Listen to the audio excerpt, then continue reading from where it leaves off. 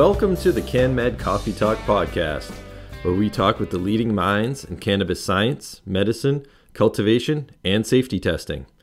I am your host, Ben Amirault. I'm the marketing manager at Medicinal Genomics and proud member of the team that puts on the CanMed conference every year. Head over to canmedevents.com now to learn all about our CanMed 2021 event that will take place September 29th through October 1st at the Pasadena Convention Center in Pasadena, California. And be sure to get your tickets at our special early bird rate. While you're at canmedevents.com, be sure to sign up for email alerts to stay up to date with all the news surrounding this industry leading event. The best place to do that is on our podcast page, which you can find in the main menu under the Media tab. You can also go there directly by going to canmedevents.com slash coffee talk. There is a sign up form on that page, and if you complete it, you will be entered into a drawing to win two CanMed 2021 VIP dinner tickets. While you're there, you can also listen to all the CanMed Coffee Talk podcast episodes in our archive. On this episode, I had the pleasure of talking with Dr. Andrew Horowitz, who is the Vice President of R&D at Sestina Bio LLC. Previously, Andrew managed the cannabinoid R&D program at Demetrix, where he helped develop the process for using genetically modified yeast cells to produce cannabinoids. We discuss the advantages of using yeast cells to produce cannabinoids instead of cannabis and hemp plants, how adjusting the precursor molecules that are fed to the yeast cells can produce rare and novel cannabinoids, how cannabis medicine researchers can use this technology to better understand the entourage effect, why understanding the way cannabis plants produce cannabinoids was essential to developing this technology, and how this technology is received by the cannabis community.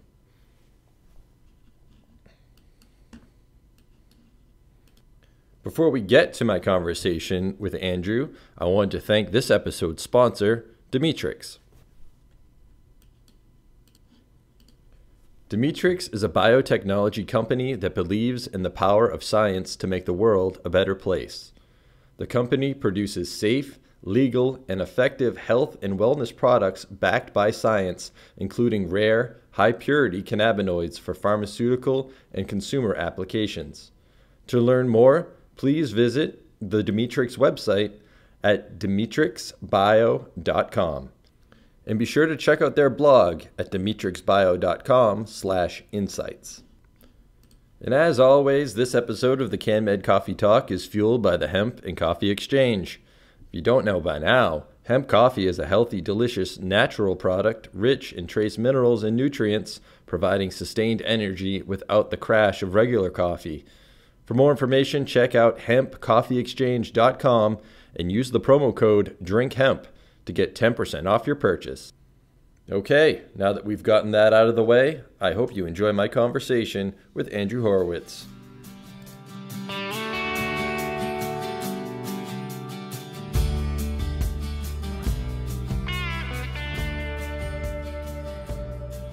Good morning, Andrew. Thanks for joining us. Thanks, Ben. Good to be here. Really excited to talk to, with you today because the topic we're going to discuss, which is synthetic biology, and I guess more specifically, using genetically engineered yeast to create cannabinoids, is just a fascinating topic. And I know you presented at CanMed 2019 on that topic, and I've included a link to that video in the show notes for people to take a look at. Um, and it got a great, great response. So I'm really excited to dig into more detail around that. But for those who aren't familiar with this process or maybe haven't watched the video yet, was hoping we could start and you could um, uh, use you could perform a little explain like I'm five the the process of using yeast to create cannabinoids.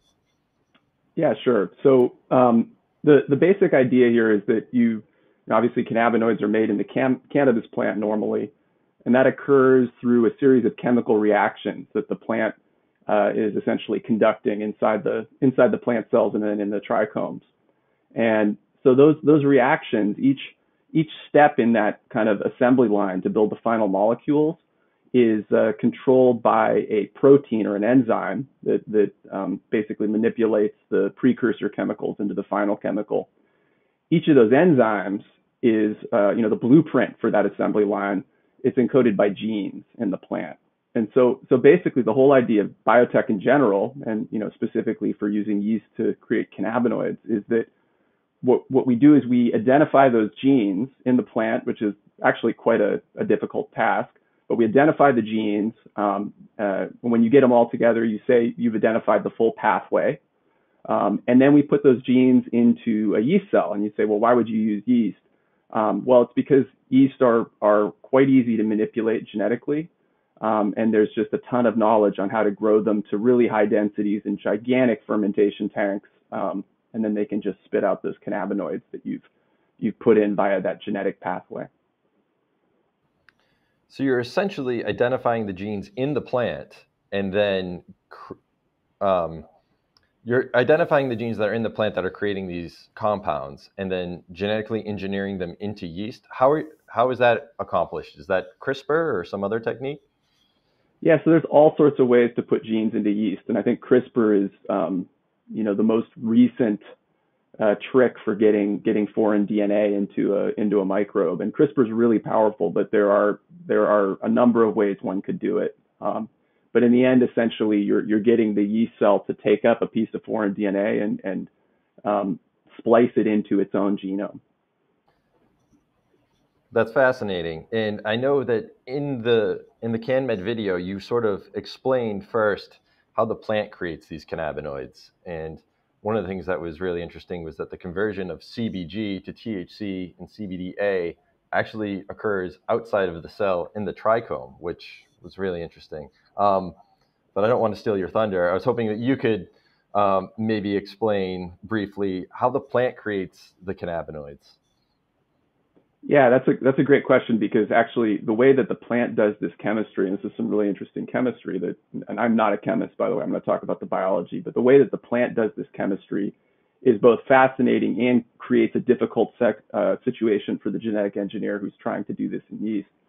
And so that's because, um, so in the plant cell, um, let me see how far to zoom back here. So when you're making cannabinoids, you you you basically take two precursor molecules uh, olivotolic acid and a molecule called GPP and fuse them together to make CBGA. And, and CBGA, so the A, by the way, when I'm talking about cannabinoids, uh, CBDA, THCA, you're, you're hearing that A there. That's because the, the, the natural form of the plant is an acid. Um, when, when that natural form is heated up, uh, the acid pops off, it's decarboxylated. I, I, think probably many listeners would be familiar with that. And at that point, you get the more familiar THC or CBD. So it's the same for CBGA. CBG uh, is, is CBGA uh, without the acid on it. So just a quick quick explanation there why I'm saying A all the time. So so CBGA is the mother cannabinoid, and that that's that molecule is produced in the cell. But then what's really interesting is the final conversion of CBGA into these better known cannabinoids like THCA or CBDA. That occurs outside of the cell in this specialized um, compartment called the trichome. And I think again, most people have seen pictures. These are beautiful uh, structures in the plant. It's when you when you look at a a, um, a, a bud, uh, cannabis bud, you'll see the crystalline kind of appearance on it. Those are those are trichomes. And so trichomes are essentially um, you know chemical reaction chambers where CBGA can be converted um, by enzymes called synthases, cannabinoid synthases, into uh, THCA, that would be by the action of the, the THCA synthase, or CBDA by the CBDA synthase. Those are the two major synthases. It's, it's possible that there's other synthases out there like the CBCA synthase, um, but those are the major ones. And this reaction is occurring outside of the cell, which is which is somewhat unusual. Um, and that's what poses really a um, big challenge for the yeast engineer who's trying to make cannabinoids inside a yeast cell. Because as you can imagine, the, the situation in a trichome outside of the cell, different pH, oily, um, is very different than the situation inside a yeast cell. So getting those enzymes that are used to working in the trichome to work in the yeast cell, um, I think represents one of the biggest challenges for making cannabinoids by biotech. So that's interesting. So are there two separate processes here? First, it's creating that mother cannabinoid CBGA, and then is there sort of a, a second strain of yeast that's sort of doing the synthase process? So I think that probably most people would try to do it in the same strain, but but you have a great point there, which is these are it's kind of like two very different skill sets. Making CBGA, which happens inside the yeast cell and draws on these two precursor molecules, the olivetolic acid and, and GPP. That's one that's one challenge. And then it's almost an entirely separate challenge to then convert that CBGA. So it's it's, it's I know that that uh, folks have contemplated doing these these things in separate steps, uh, certainly, and um, because you're really looking for you kind of need a, an athlete that's uh, you know accomplished in two entirely different events. So um, I think that's a that's an insightful way to say it. But I think ideally for a for a find economically feasible process, you would be getting it all done in one one strain would do the full conversion of uh, production of CBGA and conversion into the final THCA or CBDA product. So that's ideal, but is that what is that the reality right now, or is that the goal? So I think what you're seeing right now is a lot of the um, a lot of the press releases I've seen coming out from companies in the in the you know biotech cannabinoids field have been about CBGA and about CBG and and CBG is a really interesting molecule I think with a lot of of uh, terrific properties. I mean something I would say is that that difficulty genetic engineering difficulty does not necessarily correlate with the value of the molecule on a um, biological basis. So what I mean is that that it's um, you know it's more straightforward to make CBGA than it is to make THCA or CBDA certainly but CBGA is a great target for biotech as well. And so um, I think that there's been, you know, increasing awareness of how CBGA and the decarboxylated form CBG um, have a number of very interesting effects that, you know, overlap in part with, uh, you know, some of the profile of CBD, for example. Um, so, so I guess um, I don't know. I'm sure if I'm answering your question exactly there, but I think I think that CBGA is a great first target for the field. And I think that that pulling that all the way through to CBDA and THCA um, is absolutely going to happen. It's a little more work. Okay, so if I'm understanding what you're saying, are, are, you saying that we're not there yet? Are we able to create THCA and CBDA oh, through this process?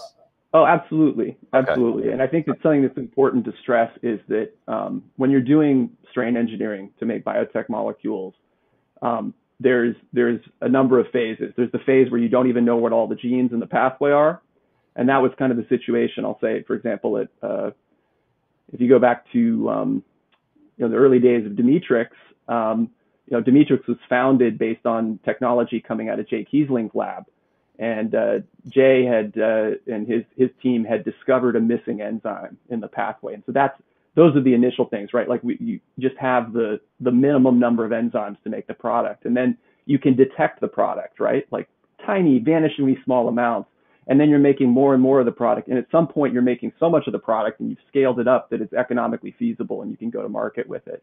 And so my point there about CBG was just that CBG, because it is, um, you know, a step on the pathway towards CBD and THC and the other, call them terminal cannabinoids there um, is is something that I think the biotech companies are able to hit first because uh, it's you know it's a partial pathway essentially. So, but definitely uh, you know a number of groups have shown that THCA and CBDA can be made.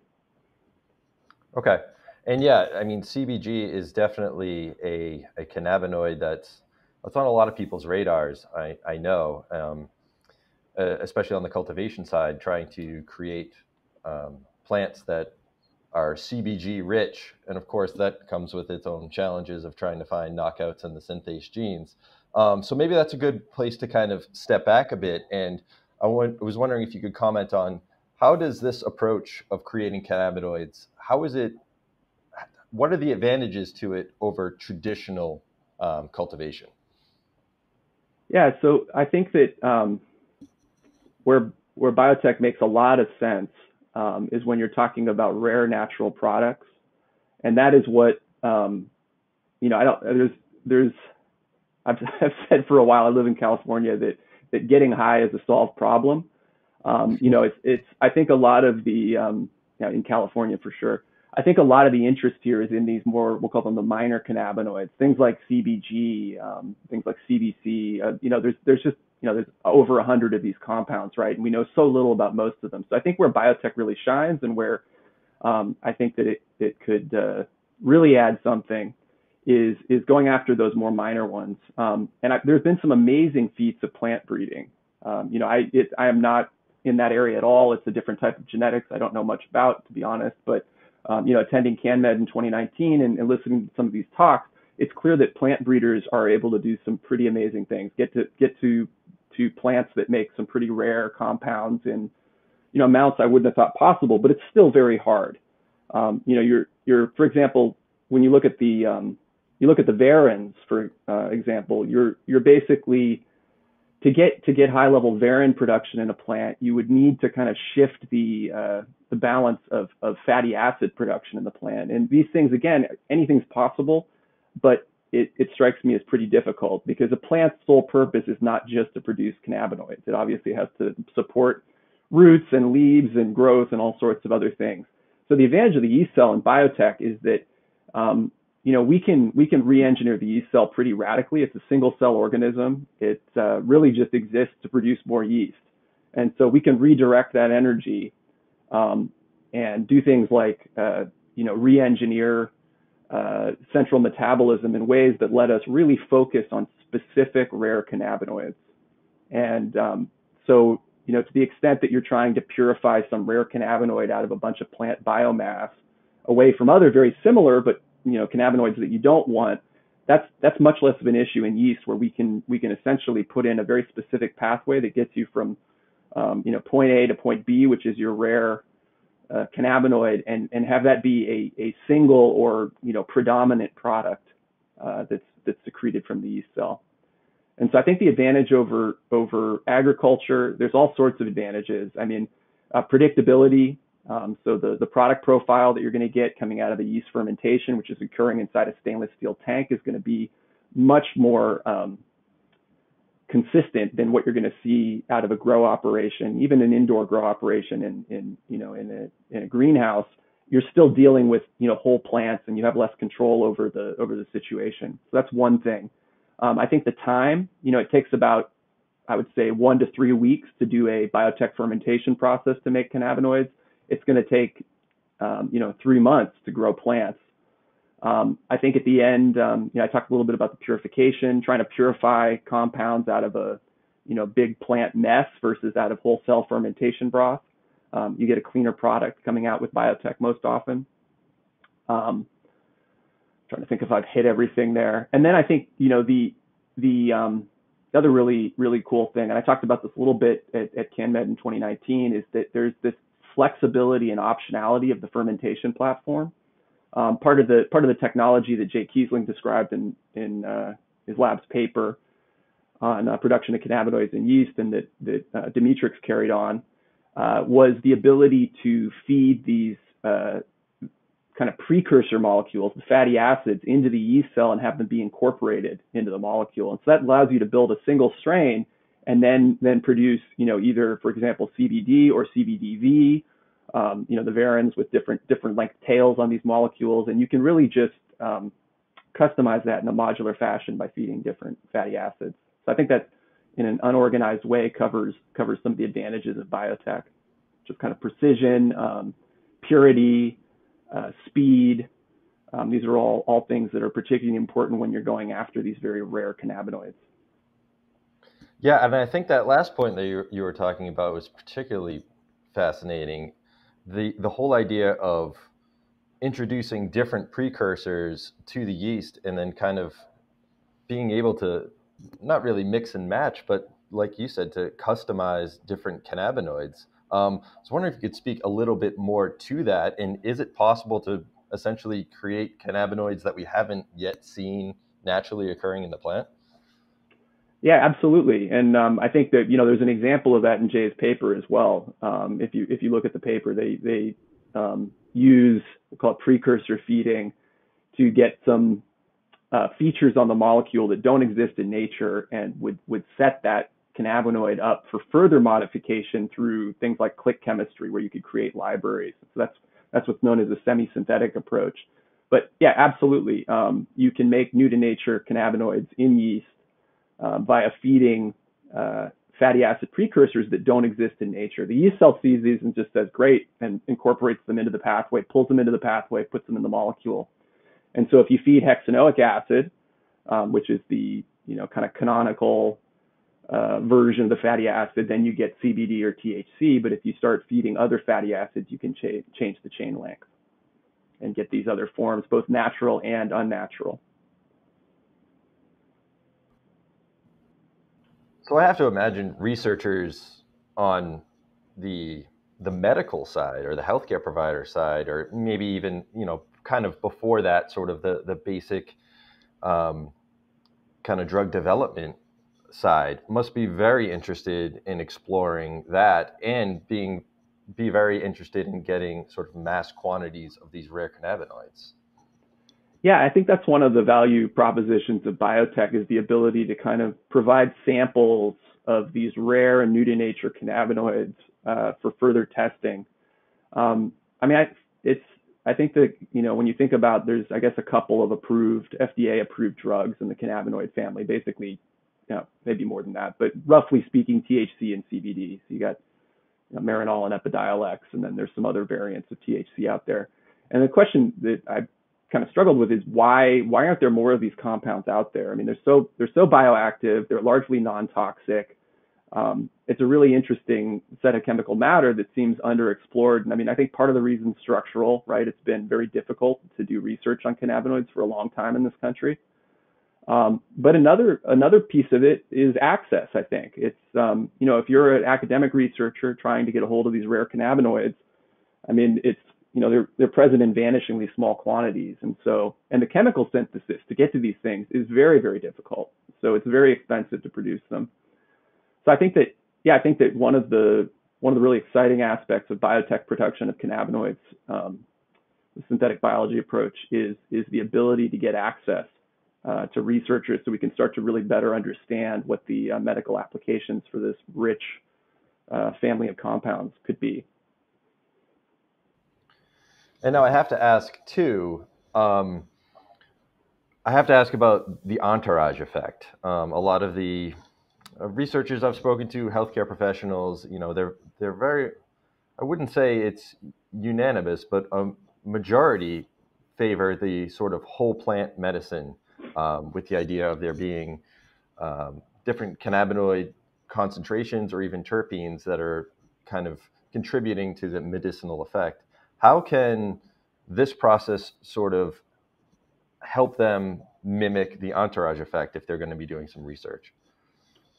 Yeah, I think the entourage effect is really interesting because it's it's I think it's been hard to get uh, you know solid data on it on on it just because you're again I mean one of the reasons why uh, most most uh, drugs that are approved by the FDA are single molecules is because it's easy to understand then exactly what the causal agent is, et cetera. And so I think when you talk about the entourage effect, it, it gets very complicated quickly. And so I think that um, you know something biotech could do could be produce a palette of individual compounds that could be blended in ways that would allow people to to um, test these questions. Um, you know, is the entourage effect in the same in one strain produced in one place as it is in another strain in another place? Probably not. Um, you know, I, I, saw some really interesting talks at uh, the 2019 CanMed where um, people were looking at uh, very fine differences between uh, compositions of cannabis and, and, seeing very different effects. And so, um, for me, it's it's really hard to tell uh, what's going on there. My my personal opinion um, is that uh, the the cannabis plant did not evolve to you know get us high or to you know cure diseases. Um, this is you know it's one of these things. The cannabis plant wants to make more cannabis plants, and um, my guess is that most of the bioactivity of cannabis comes from a very few number of compounds, most of which are the cannabinoids. Um, but I, you know, you absolutely can't rule out the potential for for synergistic effects for polypharmacy. So. Yeah, and I think it's a it's a multifaceted problem, and it's becoming more and more apparent the more I talk to people in different sectors of this industry. Um, just, I mean, from a, a testing side, there's there's challenges in even identifying these different compounds in the plant. And from the healthcare side, there's there's challenges in getting a consistent product to really do solid research on. So I think something like this would would solve some of those problems at least um, to be able to create something that's that's more consistent or to be able to to kind of tinker with the different the various levels to really dial in the effect that you're looking for.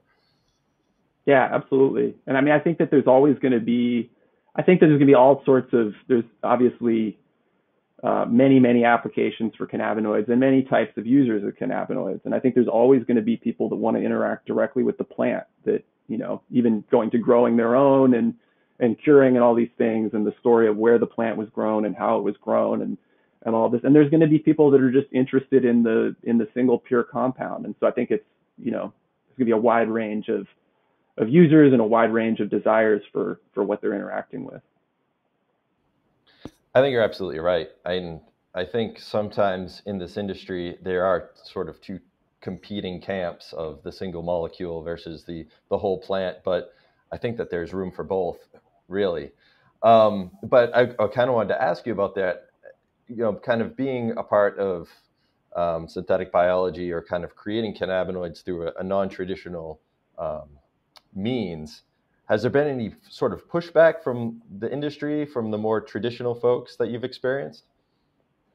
Um, you know, actually, I was um, I was a little concerned about that going to speak at at CanMed. Uh, you know that there might be some folks that were angry about the idea of biotech getting involved and you know genetically modified and all this. But I found people were largely people were pretty open minded there, largely you know interested in the science behind it and the access um, I definitely, you know, had some conversations where there was concern about, um, I would say, two areas. One about, you know, genetic engineering in general, and I think I'm usually able to convince people that all of the, you know, the natural strains we're talking about today are products of extreme genetic engineering, right? The plant, there were there were no plants. I mean, I read somewhere that even since the 80s, the the content of THC in top strains has doubled or tripled or something like that. So that, that's all the result of genetic engineering. Um, you can you can do it by breeding or you can do it with CRISPR, but it's it's all genetic engineering in my mind. Um, that basically creating organisms with extraordinary uh, capabilities. Um, so that was one piece, the genetically modified piece, and I think that the the the CanMed audience was actually pretty sophisticated on that one and understood how it fit into the general uh, artificial selection and breeding as one of these many tools to achieve these extraordinary capabilities in an organism. But the, the second piece, I think, is the one, the idea that that you know, big biotech is going to put uh, the growers out of business. And you know, again, I think that that that's that's pretty unlikely, just because there's always going to be a market for for the plant for interacting with the natural molecule. And at the same time, you've got you know companies that want to start formulating um, these compounds into their products that are looking for a really pure, uh, dependable, steady stream of product and, and aren't going to move forward without one. And so um, I think that you know what I would say is that it's it's a big market that's only going to get bigger. And so it's not like a zero sum game or where you cut a piece of the pie, it's coming from someone else's slice. So I think it's it's actually a case where um, the number of applications is going to increase because of biotech, and you're always going to have growing. So well, that's good to hear. Um, I did want to ask you about terpenes. Um, we've talked a lot about cannabinoids. Um, is there an application for using biotech to generate terpenes, or are they sort of more of a um, a common compound that's not really applicable? So that's a that's a great question. It's funny because my most of my career in industrial bio has been centered on terpenes, and so I cool. I started out working at Amyris, a company called Amyris that's also in the the biotech cannabinoids game at this point. Um, and you know, I left I left before they got into that. But Amyris was founded around um, the concept of producing terpenes in yeast, and so they've now made you know at least a dozen different terpenes and scaled them up to you know multi-ton scale uh, through fermentation. And and so um, the you know cannabinoid pathway itself, that GPP molecule I was talking about that gets put together with a libetolic acid to make CBGA, GPP is is is the precursor to terpenes. It's it's uh, so and the, and the cannabinoid molecule itself is what's known as a meroterpene. It's part part terpene. And so then, of course, you're talking about the terpenes in the plant that give the, the flavor and the, you know, the, the um, sensory experience of, of cannabis. Um, and then, and then, of course, also have been cited in the entourage effect. I should mention that. But, but yeah, absolutely, these are great targets uh, for for biotech. And um, in fact, I would say that mastering terpene production in in yeast was kind of a necessary precursor to making cannabinoids in yeast. Very cool. So, one of the common refrains in these conversations that I'm having with people in the industry is that there are still things, still a lot of things that we don't know about cannabis. And I wanted to ask you, are there things that we still don't know about how the, the plant creates cannabinoids that would be valuable information for uh, biotech? Yeah, absolutely. I think we're, you know, the, know, like I was saying, it was only you know, maybe four four years ago or so that the the full genetic pathway was described with the discovery of this missing enzyme by the Keasling lab. And um, so it's not like we've known about this for years. You know, we've had the the genome sequence of the plant for I'm going to probably get this wrong, but I would say about a decade now. Um, and we've had a full pathway for about four years, but I'd say we're at the very beginning of understanding how the plant works. And so, you know, while I think we can describe exactly how to make THCA or CBDA or the variants of those um, the varin variants of those, you start getting into the more rare cannabinoids, and it's it's it's not totally clear, at least to me, um, you know, if, if um, how those are made by the plant, and so you know whether they represent chemical breakdown products of of uh, molecules that we know how they're made in the plant. We know that's the case for some of them, or whether there's um, you know a whole slew of different enzymes that are acting on um, on CBGA and other molecules to get there. So yeah, absolutely a ton to learn from the plant still. Excellent. Always happy to hear that. So winding down here, I did just want to give you an opportunity to let the audience know where they can learn more about what we've talked about, more about what you're doing. Um, floor is yours. Yeah, absolutely.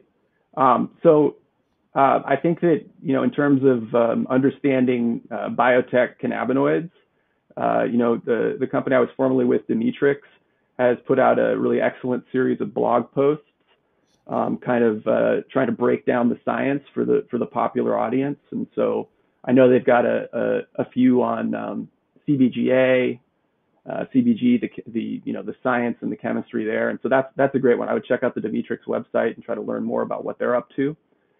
Um, so I think that's I think that's a great starting point on the biotech side.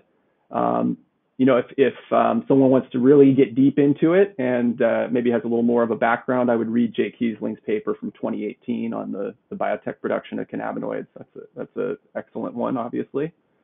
Um, so personally, um, I, I left Demetrix um, about middle of this uh, last year in 2020 um, entirely for a personal opportunity. I got the chance to do another startup. I love I love doing startups. So when I joined Demetrix, I was I think the fourth fourth employee there. You know that there was no lab, it was empty.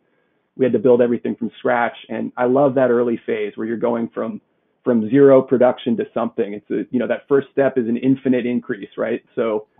Uh, so that's really exciting to me, and I like building building out an early R&D team. And so um, you know, about the middle of last year, I got the opportunity to do that at a new company that's called Sestina.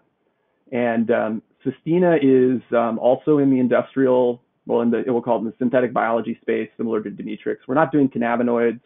Um, I think what's really interesting about Sestina is that we're we're focused on kind of miniaturizing the the R&D uh, process so a lot of the um, discovery and work in R&D is done in what are called 96 well plates, which are kind of like 96 tiny flasks that you can grow grow cells in. And what Sestina is doing is that they're they're um, trying to move away from those plates, which physically take up a lot of space and limit the number of um, variants of these strains you're building. You can look at and move into single cell technologies. Um, and so now instead of having cells growing in 96 well plates, you have cells inside of droplets or single cells, and there's a number of ways to do it. So that's one piece of it. And the other piece of it is that um, we're partnered with uh, a company called Inscripta, which has made this uh, gene editing box called the Onyx. And the Onyx allows for this, you know, massively multi-parallel genome editing, where you can basically um, redesign entire genomes in microbes like yeast. And so it's really powerful and allows us to get really deep into the biology that influences the production of these these biotech target molecules. And so, um, you know, this was those two things I think were really exciting to me. And so I, I jumped at the opportunity to do that. And um, we're at this point, you know, running a screening operation. The lab is up and going and uh, having a great time. Wow, that sounds amazing. And I will certainly put links to the resources that you that you mentioned into the show description. So if anyone's interested, you can definitely check that out. So, all right. Thanks again for joining us, Andrew. Um, and thanks, I, I want to thank you on behalf of the CannMed team as well at, for being a, a scientific advisor and helping us to, to choose the presenters for this year's event. Um, it's always very helpful. And I hope to see you out in Pasadena. Absolutely. This was really fun, Ben. Thanks so much.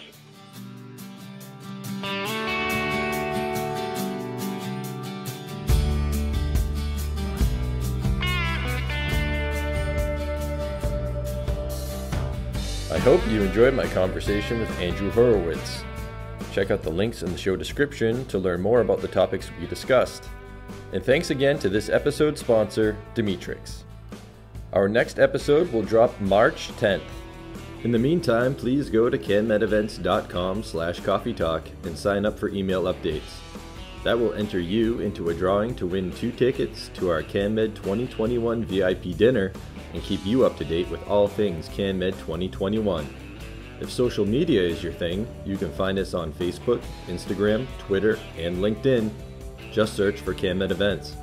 And lastly, if you are listening via a podcast app, go ahead and hit the subscribe button so that new episodes automatically download to your device. And please leave us a five star review as well. All right, that's it from us. Stay safe, stay healthy, and be sure to come back for the next episode of CannMed Coffee Talk.